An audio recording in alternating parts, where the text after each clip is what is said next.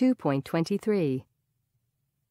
I'd like to welcome to the program two of these teenagers, Alice and Daniel, who are 17 years old and who both take care of family members. Hello, Alice. Hello, Daniel. Hi. Who do you take care of? I take care of my mom. She has ME.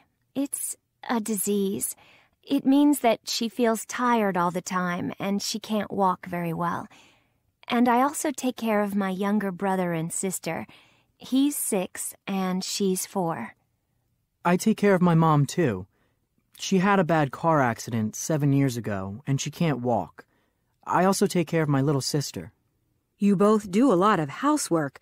What exactly do you do? On a normal day, I get up early and I clean the house and I do the ironing.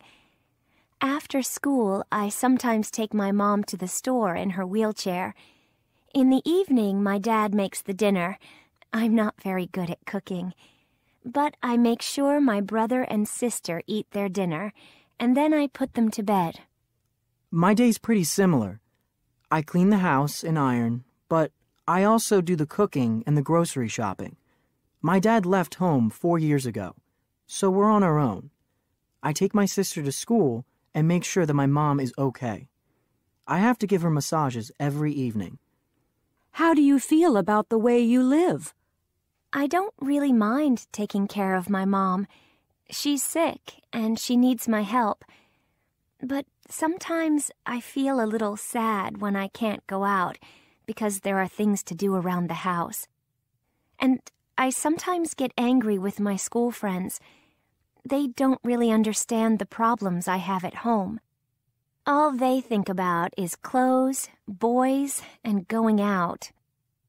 I like what I do because I'm helping my mom and I'm helping my sister at the same time. Of course, it's true that I can't go out much because I need to spend most of my time at home. I sometimes go out with my friends, but I don't like leaving my mom by herself. I always make sure that I have my cell phone. If my mom needs anything, she calls me and I go back home. It's not a problem for me. It's just part of my life. You're both doing a great job. Thanks very much for coming on the program.